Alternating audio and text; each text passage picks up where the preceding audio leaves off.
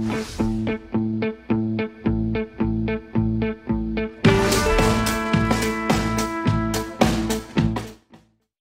အောင်ဆဝဒနာရှင်ပရိသတ်များအားလုံးပဲမင်္ဂလာပါကျမတို့ရဲ့ Soccer Fighter ကနေပြီးတော့ပြန်လည်ကြိုဆိုလိုက်ပါတယ်ဒီနေ့မှာဆိုရင်တော့တရားချင်ဟန်ဆောင်ပြီးအသင်းဖော်ရီထိတ်လန့်အားလုပ်ပေးမဲ့မအောင်မြင်ခဲ့တဲ့ Messi စထရေးသတင်းကိုတင်ဆက်ပေးသွားပါမယ်ရှင်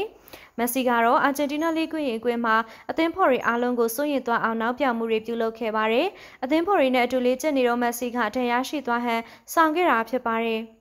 သူ့ရဲ့တင်ပအောင်နာကိုမက်ဆီကလက်နဲ့ကိုင်းနေခဲ့ပြီးတရားရှိနေဟန်ပြုလုပ်ခဲ့တာပါ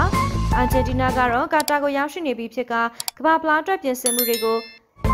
ပြုလုပ်နေပြီဖြစ်ပါတယ်အသက်35နှစ်အရွယ်မက်ဆီကအသင်းကိုဦးဆောင်มาဖြစ်ပြီးနေ့လည်ခင်းလေ့ကျင့်ခန်းစနစ်အချိန်မှာမက်ဆီကနောက်ပြောင်ခဲ့ပြီးအသင်းဖော်ပါရီဒက်စ်နဲ့အတူရဲမောသွားခဲ့တာကိုလည်းမြင်တွေ့ခဲ့ရပါတယ်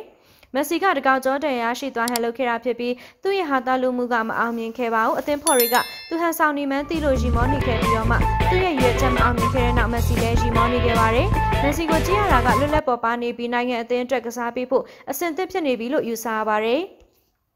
ဒီဗီဒီယိုက Twitter မှာလည်းပြန့်နှံ့နေပြီးပရိသတ်တွေကတော့ဒီလိုမျိုးမကြည်စားပါနဲ့လို့ပြောဆိုနေကြပါတယ်။အာဂျင်တီးနားကသူ့ရဲ့ကမ္ဘာဖလားဖွင့်ပွဲကိုနိုဝင်ဘာလ22ရက်နေ့မှာဆော်ဒီနဲ့ကစားသွားမှာဖြစ်ပြီးဒီနေ့မှာသူတို့ကရွေအီးနဲ့ခြေဆန်းပွဲကစားဖို့အတွက်စီစဉ်ထားပြီးကမ္ဘာဖလားအတွက်နောက်ဆုံးအချိန်ခြေဆန်းသွားမှာပဲဖြစ်ပါတယ်ရှင်။ Actualmente es que en la charla técnica que, que se tiene el día anterior,